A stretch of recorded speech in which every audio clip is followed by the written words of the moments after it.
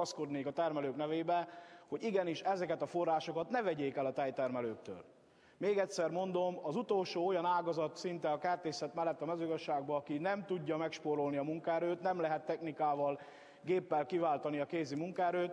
Ha ezt az ágazatot is tönkre tesszük, akkor itt nem, hogy 200 ezer új munkahely lesz a mezőgazdaságban, hanem 50 ezerrel kevesebb lesz. Ennek egyébként az első jeleit, jeleit már ö, látni lehet. Tehát a nagy szlogenek mellé kérem, hogy fontolják meg ennek a módosító javaslatnak a támogatását. A másik, szintén foglalkoztatást érintő ügy, itt volt egy nyílt nap a parlamentben, a felsőházi teremben, erdészeti nyílt nap, ahol a kormány képviselői, meg a kormánypárti politikusok fűtfát megértek az erdészetnek. És amikor megdöbbentve láttuk a költségvetést, hogy arra a fenntartható erdőgazdálkodási sorra, ami egyébként az erdőgazdálkodók, magánerdőgazdálkodók falugazdász hálózatát finanszíroznál, még a fél évnyi forrás sem biztosította a kormány.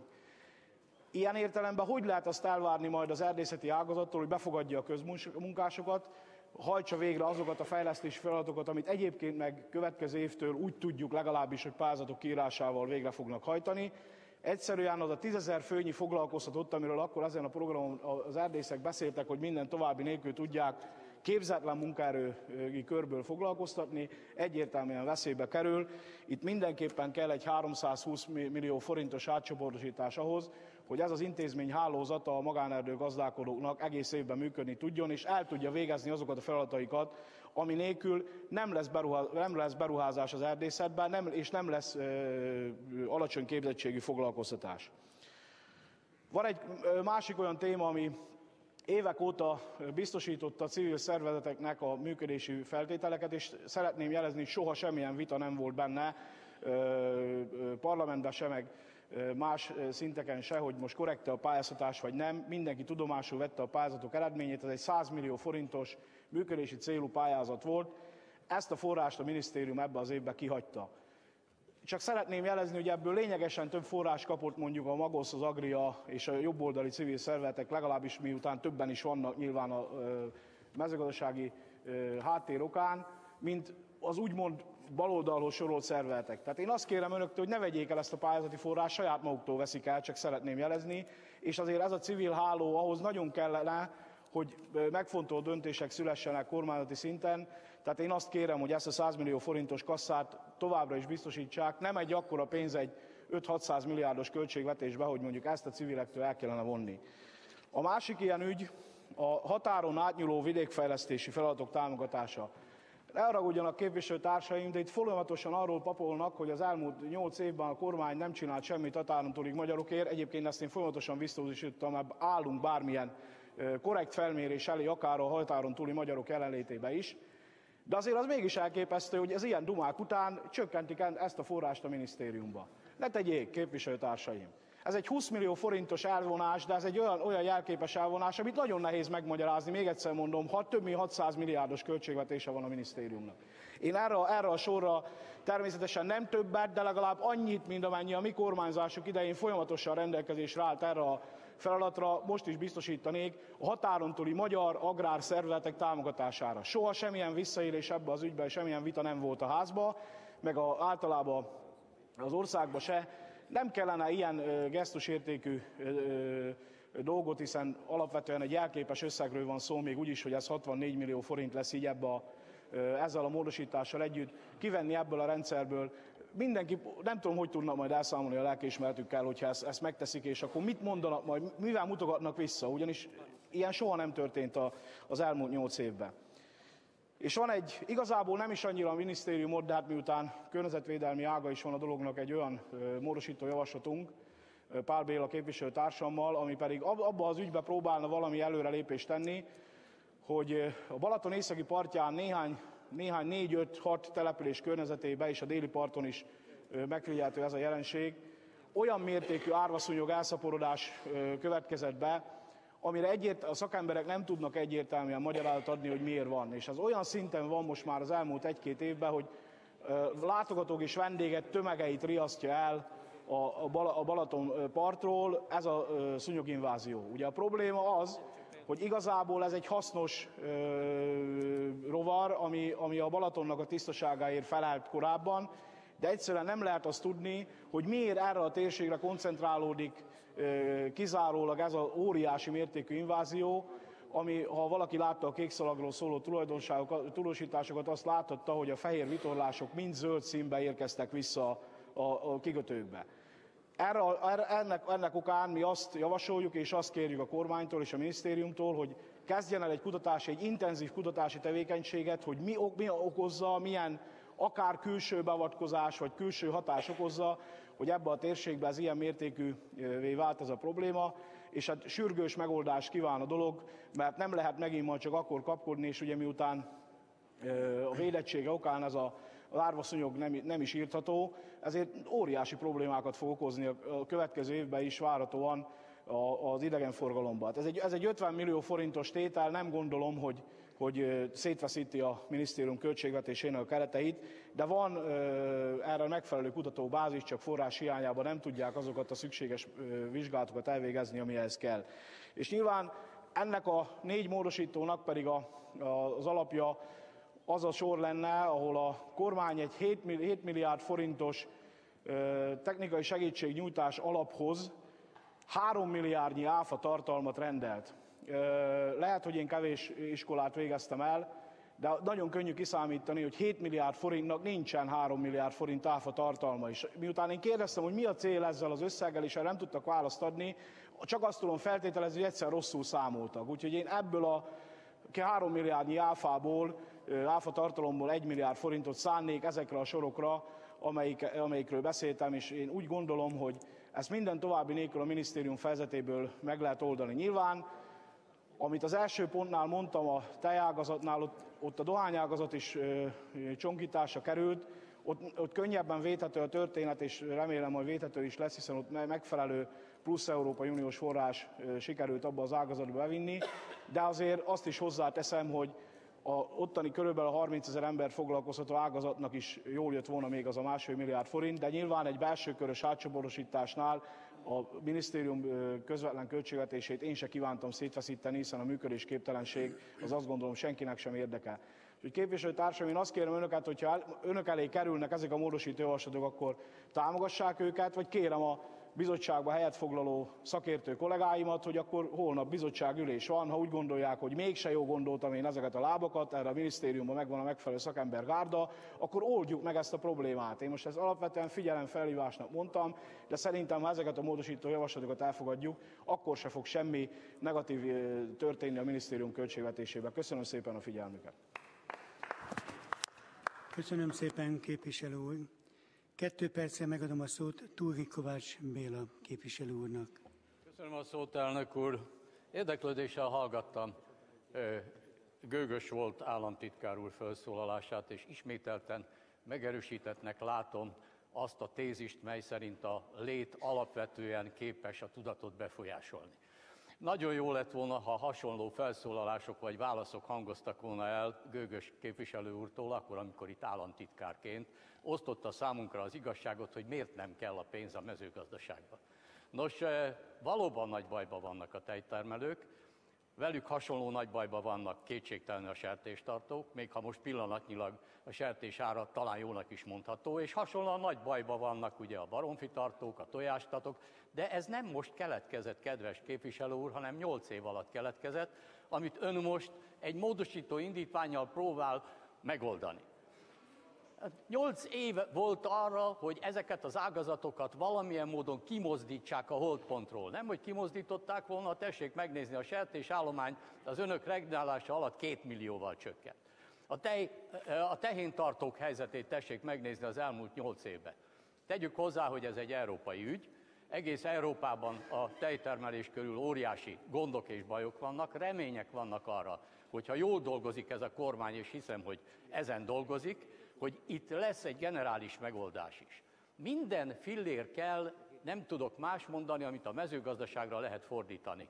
De minden filléről tudnunk kell, hogy ott jó helyre fog menni. Hogy nem az folytatódik, ami nyolc éven keresztül, hogy célzottan és nagyon meghatározottan egy-egy területre fog érkezni, és azokhoz fog elérkezni, akik már egyébként is, úgy gondolom, a javak erőteljes birtokában vannak. E tekintetben meggyőződésem szerint változásra van szükség, és a kormány meggyőződésem szerint ezért dolgozik. Végül, de nem utolsó sorban azzal is egyetértek, hogy igen, a sokszínűség a civil szervezetek tekintetében föltétlenül szükséges. Nem hiszek abba, hogy egy bármilyen, mondjuk mint amilyen nyolc éven keresztül regnált civil szervezet képes lenne valamilyen módon döntően befolyásolni a mezőgazdaság ügyét, e tekintetben a sokszínűség fenntartása meggyőződésem szerint a kormány feladata. Ebben a tekintetben úgy gondolom nincs köztünk vita, a vita abban van, hogy ki hogyan van eleresztve ezen a területen, és hová milyen pénzek szükségesek. Ezért végezetül államtitkár úr, én azt kérem öntől, hogy ilyen harcosan szíveskedjék majd föllépni a következőkben is, de mindig annak ismeretében, hogy az eredmény, ahol most tartunk, az azért önöknek köszönhető. Kérem tisztelettel képviselőtársaimat, ne hozzanak abba a helyzetbe, hogy meg kelljen vonnom a szót, mert kettő perc, kettő perc, és van lehetőség bőven kettő perces hozzászólásokra, és elnézést, hogy szólok ezért. Képviselő köszönöm. Kettő percre, 120 másodpercre megadom a szót Gőgő Zoltán államtitkár úrnak. Köszönöm a szót, elnök úr. Tisztelt képviselő úr, a problémák gyökere abból az időből adódik, amikor önök egy ostoba, átgondolatlan politikai döntéssel a 90-es évek elején szétverték a mezőgazdaságot. Az összes probléma abból az időből adódik, a kisgazdák felelőtlen, ostoba politikájának a következménye. Ezzel nem mi fizettünk azért 500 ezer forintot a parasztnak, hogy vágja le a tehenét, képviselő. A, a másik, hogy abban is biztos vagyok, hogy a képviselő úrnak fogalma nincsen a minisztérium költségvetéséről. Fogalma nincsen, tehát olyanba akar vitatkozni, amiről fogalma nincsen. A másik, én a következőt mondtam. Én nem kérek mást a mostani kormánytól, hogy hajtsa végre azt a megállapodást, amit egyébként Obrecán Ferenc követelt ki többek között, aki most ott ül a kormánypárti sorokba, a tejtermelők érdekében. Semmi más nem kértem, nem mutogattam vissza, de miután képviselő úr megint olyanokat beszélt, aminek semmi köze ahhoz, amit én mondtam, ezért kénytelen voltam ezeket elmondani. Köszönöm szépen a figyelmet. Köszönöm, képviselő úr. Kettő percet Túri Kovács Béla képviselő úrat illeti a szó. Köszönöm a szót, elnök úr. Ígérem, hogy ebbe a témában már úgy értem, hogy a gőgös témába e, utoljára szólok. Nos, e, e, Gögös államtitkár úr híres arról, hogy szakértelemből kioktatásokat tart a parlamentnek és az egész országnak. Ez a szakértelem 8 év alatt tökéletesen bizonyította, és az ön államtitkársága alatt különösen, hogy hová lehet juttatni egy ágazatot. A mélypontra. Egészen a mélypontra. És valamit még azért tisztázunk, államtitkár úr, hogy teljesen világos legyen a helyzet. A felelősséget most nem lehet áthárítani, majd egy vagy két év múlva lehet azt mondani, hogy történt-e és mi történt. Most önöknek ezt a felelősséget viselniük kell. Következésképpen, ha ön most követelésekkel áll elő, és olyan követelésekkel, amelyekből semmit nem teljesítettek nyolc év alatt, akkor azt kell mondanom, hogy ez bizony szemérmes követelésnek nem tekinthető. És végül, de nem utolsó sorban, hogy kiverte szét a TS-eket. Hát drága jó ö, ö, volt államtitkár úr, már bocsásson meg, hát ön még mindig kolhozokat szeretne. Mi szövetkezeteket szeretnénk, tulajdonon alapuló szövetkezeteket szeretnénk, és meggyőződésem szerint, ami rajtam múlik és gyenge erőnkön múlik, az elkövetkező évek arról is fognak szólni, hogy Magyarországon szövetkezetekre van szükség a kisbirtoknak és a középbirtoknak. De ezt nem önök fogják létrehozni, képviselő úr. Ha valaki létrehozza, azt nekünk kell majd létrehozni. Köszönöm szépen. További két percesek, elsőként Obrecán Ferenc képviselő úr, Fidesz. Köszönöm a szót, elnök úr. Nagyon meglepett Gőgös úrnak ez a hozzáállása. Talán tisztázzunk egy dolgot, a szövet, vagy a szövetkezeteket nem a kisgazdák, nem az MDF verteszét, hanem a szövetkezeti vezetők. Nézzük már meg, hogy a Nézzük, nézzük, nézzük már meg, hogy a kárpótlási hivataloknak az élén kik voltak annak idején. Nézzük már meg mindazok a személyek, akik ma a nagybirtokokat megszereztek. Egy, kettő, amire szeretnék reagálni Gögös úr felvetésére. Valóban részt vettünk a demonstráción, a demonstráción. Azt hiszem, hogy nincs a minisztérium részéről senki itt, de folynak az egyeztetések, folynak a tárgyalások, keressük a módot arra, hogy a tejtermelők megkapják azokat a támogatásokat, amiket ki tudunk de Államtitkár úr, 8 év alatt az állattenyésztés nem miattunk csökkent olyan mértékben, amilyen mértékben lecsökkent. 8 éven keresztül arról beszéltünk, hogy fel fogjuk emelni az állattenyésztést, növekedni fog az állatart, állatlétszám. Fokozatosan csökkent. Ne beszéljünk már arról, hogy most mi fogjuk tönkretenni az állattenyésztést. Mindent elfogadunk követni azért, hogy a magyar állattenyésztés felfejlődjön, és nem a nagy megabirtokokat akarunk létrehozni, hanem a kis és középgazdálkodásokat fogjuk segíteni. És az Európai Unió, és még egy másik dolog, amikor a tejtámogatást bejelentette a miniszter úr, a Gráf miniszter úr, az ágazat be egy az egyben beütemezte az áremelésé, illetve árcsökkentésében. Tehát a tejfeldolgozók annyival csökkentették az árakat. De így van ez, államtitkár úr. Erről fölösleges vitázni, ön másképpen látja, mi a gazdákkal megint másképpen látjuk. Elnézést, köszönöm szépen. Köszönöm, képviselő úr. Kettő percre Vince László képviselő úrnak adom meg a szót. Tisztelt ház, valamit nem értek. Koromnál fogva hasonló a gőgös úrhoz. Ha leporuljuk az emlékeinket, azért rendszerváltásra úgy érkeztek oda, sajnálatos módon a szövetkezeteink, hogy 80%-a mai szóval csőd szélén állt. Akkor úgy mondták, hogy szanálni kellene. Már az 1985-ös években is sok TS szanált az állam. Az, hogy ekkora államadóság keletkezett rendszerváltásra, hát egyebek közt ennek is van némi köze és oka.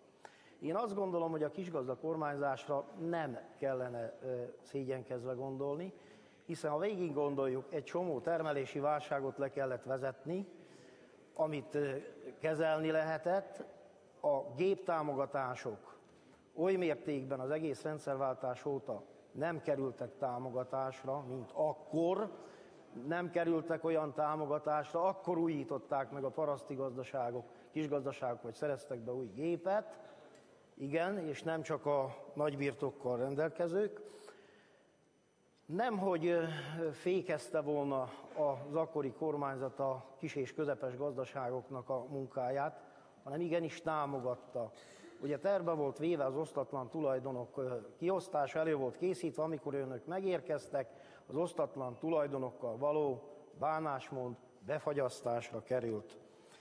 Ne felejtsük el, hogy abban az időszakban is nagyon komoly árvíz és belvízhelyzet volt az országban, gátakat épített fel az akkori kormányzat, és bizony prosperált és működött az agrárium, és igenis nem került megkülönböztetésre a két, három, meg négy tehén, meg a huszon, meg a nem tudom én hány tehénnek a dolgában a paraszti gazdálkodás, hanem kapta mindegyik a támogatást, és elsősorban a termelők az önök idejében pedig a, mondjuk meg őszintén az ott tüstékedő nepperek meg egyebek szórakozgattak a tejkvótákkal mind a mai napig.